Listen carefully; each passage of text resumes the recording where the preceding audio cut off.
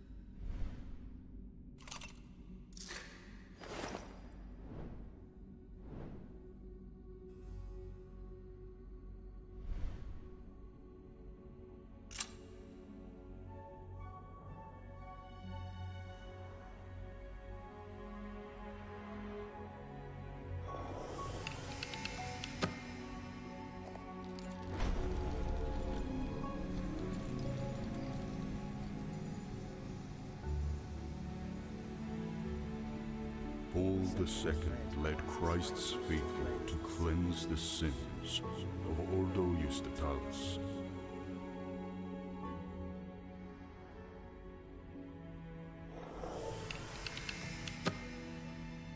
Before the noise of battle died down, the cowardly members of the Order destroyed the gate to the temple.